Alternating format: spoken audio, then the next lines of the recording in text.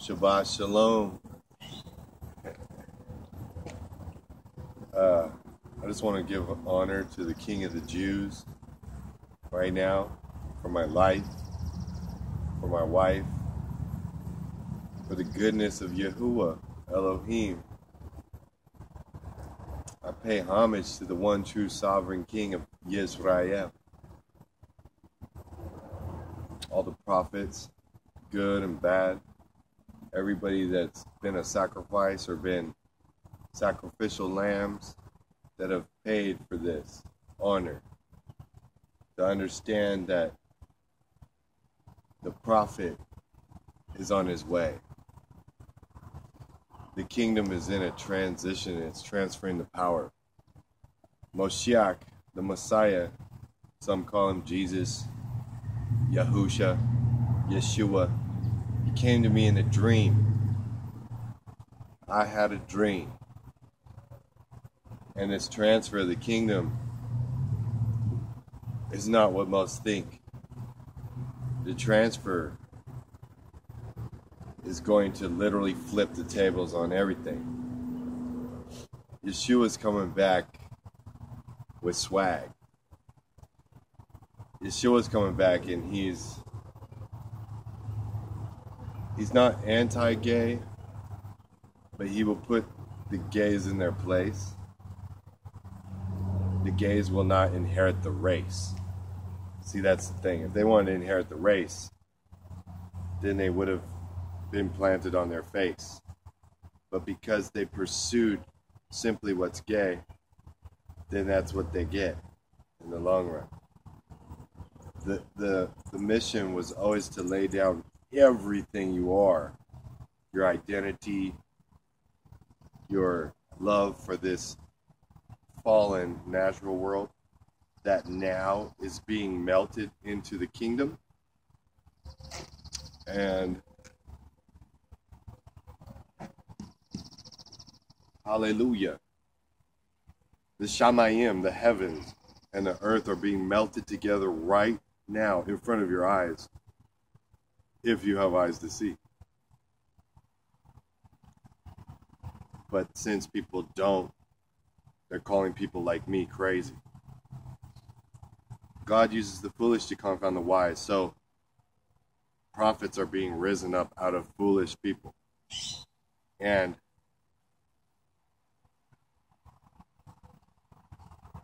positions are being established as to what your level of skill set is and what your love for God is.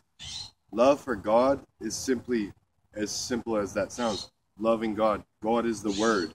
Whoever loves that full Word consumes it, digests it, loves it, wants it, becomes it. Those will be the best friends of the coming King. Those will be the ones that the King lifts on high. These are the visions and the dreams that He is giving to me right now in the end times. Prophetic dreams. They're coming on people all over the scene. But the King is revealing to me that He's coming back sleek. He's coming back shining he went from sinning, you know, because he took the sin of men and women. He went from sinning to shining. You see what I'm saying? And shin, shinning, that could mean kinging. Now he's kinging. He's king of all kings. He's the king that will reign supreme. He's the only king. He's the king. He has the power to king. To knight you. I had a dream. I had a dream of the King of Kings of New Yerushalayim. And he's shining. And he cannot be seen. He's actually already here. That hear that loud and clear. Moshiach Yeshua Yahusha, the black, white, red, and brown, all the colors of rainbow cat. He's already here. He's in all of us, but he's already here in the flesh too, walking amongst us like in the garden. He's he's surveying his garden right now. His name's Yahuwah Elohim. Oh, that's the name on the top of the cross. Yude Wahe, Yahuwah. He's already here walking among us. Who knows who he is? I had a dream and I saw who he is. But people can't even believe what I say about earth.